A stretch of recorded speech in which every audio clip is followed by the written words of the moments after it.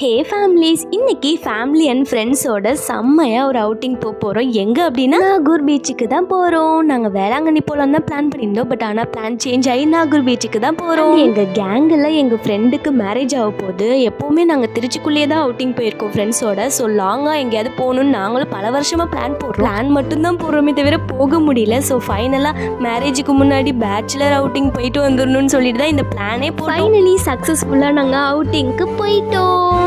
எங்கள் ஃப்ரெண்டில் யாருக்கு மேரேஜ் அப்படின்னா சாருக்கு தான் மேரேஜ் ஸோ ட்ரெயினில் எல்லாரும் ஹாப்பியாக ஜாலியாக கலாய்ச்சிட்டு செம்ம ஃபன்னாக போயிட்டு இருந்தோம். ஃபர்ஸ்ட் டைம் இந்த மாதிரி லாங் ட்ராவல் அண்டு ஃபேமிலியும் வேறு இன்வால்வ் பண்ணி இந்த மாதிரிலாம் போகிறோமா ஸோ செம்ம ஹாப்பியாக இருந்துச்சு.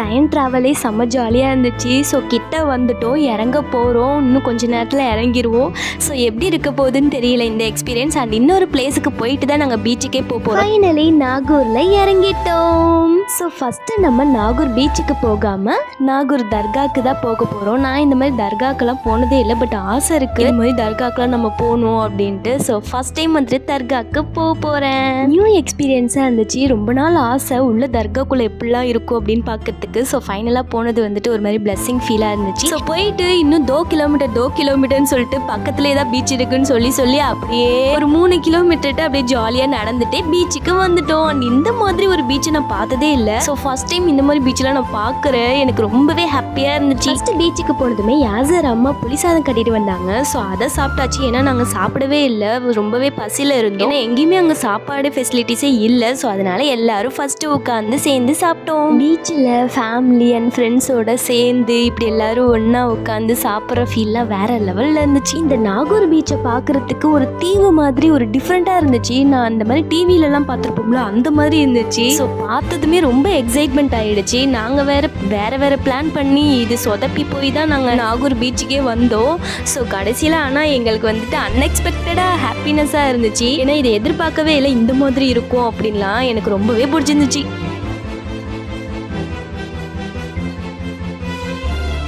ஃபஸ்ட் டைம் இந்த பிளேஸ்க்கு வந்ததுனால ஓவர் எக்ஸைட்மெண்ட் ஆகிட்டோம் இந்த மாதிரி என் ஃப்ரெண்ட்ஸ் கூட போகிறப்ப எங்கள் அம்மாலாம் வந்ததில்லை. இது ஒரு புது எக்ஸ்பீரியன்ஸாக இருந்துச்சு. அண்ட் எங்கள் அம்மாவும் ரொம்ப ஹாப்பியாக இருந்தாங்க. அதை பார்க்கறதுக்கு எனக்கும் ஹாப்பியாக இருந்துச்சு. இந்த பீச்சில் வந்து விளாண்டது எப்படி இருந்ததுன்னா நம்ம ஏதோ தனியாக ஒரு வேர்ல்டுக்கு வந்து தனியாக இருக்க மாதிரி ஏதோ ஒரு புதுசாக ஒரு ஃபீல் செம்மையாக இருந்துச்சு. பட் ஆனால் ஃபுட் ஃபெசிலிட்டிஸ் அண்டு அந்த மாதிரிலாம் இல்லாமல் இருந்துச்சு. பட் இங்கே வந்ததுமே எங்களுக்கு வெயில் தெரியல பசி தெரில ஸோ செம்ம ஹாப்பியாக ஜாலியாக விளாண்டுட்டு இருந்தோம். நீங்களும் மறக்காமல் இந்த நாகூர் பீச்சுக்கு வந்து பாருங்கள் உண்மையாக இது வந்துட்டு ஒரு நியூ எக்ஸ்பீரியன்ஸாக இருக்கும். பீச்சில் செம்மையாக விளாண்டுட்டு இருந்தோம் பட் இருந்தாலும் அலை கொஞ்சம் பெருசாக தான் வந்துச்சு. பயமாகவும் இருந்துச்சு. ஸோ கொஞ்சம் சேஃப்டியாக முன்னாடியே தான் நின்று விளாண்டுட்டு இருந்தோம் அப்படியே விளாண்டுருக்கப்ப இன்னும் ஒரு சஸ்பென்ஸான சர்ப்ரைஸ் ஒன்று இருக்குது பட் பெருசாக பிளான் சர்ப்ரைஸ் பண்ணி வச்சுருந்தோம். பட் இது ஒரு சிம்பிள் சர்ப்ரைஸ் தான். பட் ஆனால் அன்எக்ஸ்பெக்டடாக இருக்கும். பட் ஆனால் இது யாருமே கெஸ் பண்ணவும் இல்லை. ஆனால் இதை நான் கொண்டு வரதுக்குள்ளே நான் பட்ட பாடு இருக்கே. அப்பா அப்படி ஆயிடுச்சு.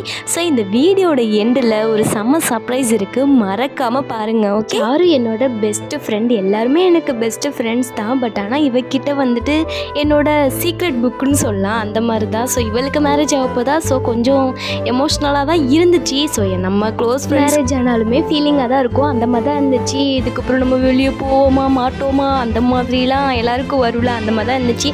ஸோ அதனால் இந்த அவுட்டிங்கை வந்துட்டு ஒரு மாதிரி ஜாலியாக விளாண்டுட்டு இருந்தோம். ஸோ இங்கிட்டு அங்கிட்டும் ஓடி குதிச்சு பீச்சுனாலே நம்ம ஆட்டமாக ஆடுவோமே. அந்த மாதிரிலாம் ஆடிட்டு பேண்ட்டு டாப்பு எல்லாம் நனைஞ்சிருச்சு. ஸோ அந்த அளவுக்கு ஆடிட்டு இருந்தோம்.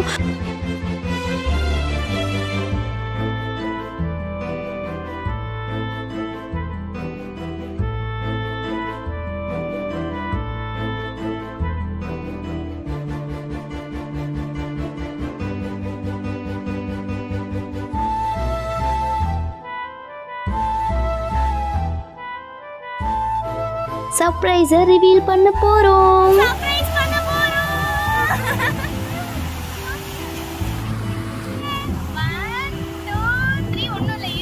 எனக்கு ரொம்ப எக்ஸைட்மெண்ட்டாக இருந்துச்சு. இந்த சர்ப்ரைஸ் பண்ணுறதுக்கு ஏன்னா இதை எதிர்பார்த்துருக்கவே மாட்டா. அன்எக்ஸ்பெக்டடாக இருக்கும். பட் இந்த சர்ப்ரைஸ் செம்ம சொதப்பலாச்சு. நான் பண்ண பிளானே வேற பட் அங்கே நடந்ததே வேற. செம்ம காமெடி ஆயிடுச்சு. ஃபர்ஸ்ட் அவளுக்கு கிரீடத்தை வச்சுட்டு பண்ணு மாதிரி கொடுத்துட்டு வெடிக்கிற மாதிரி வெடிப்போன்னு பார்த்தா அது எப்பவும் போல் அந்த பாப்ஸ்டிக் ஒர்க்கே ஆகலை. அப்புறமேட்டு வெடிச்சிச்சு. அதுவுமே பின்னாடி பறந்து போயிடுச்சு. ஒரே பல்பாக போயிடுச்சு.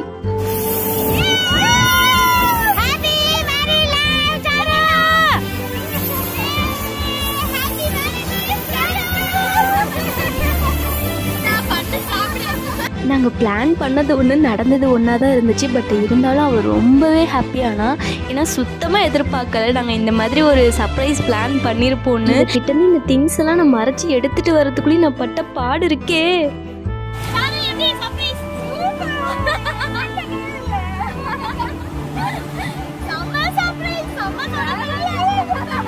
இந்த டே எங்களுக்கு ரொம்பவே மெமரபிளான டேவாக இருந்துச்சு. ஏன்னா ஃபஸ்ட் டைம் ஒரு லாங் ட்ராவல் வந்திருக்கோம். அண்டு ரொம்பவே ஹாப்பியாக இருந்துச்சு. அண்டு குட்டி சர்ப்ரைஸாக இருந்தாலும் பல சொதப்பல் இருந்தாலும் ரொம்பவே ஹாப்பியாக இருந்துச்சு. ஜாலியாக என்ஜாய் பண்ணிட்டு கிளம்பிட்டோம். யாசர் தூங்கிக்கிட்டே வந்தா சேஃபாக வீட்டுக்கு வந்தாச்சு.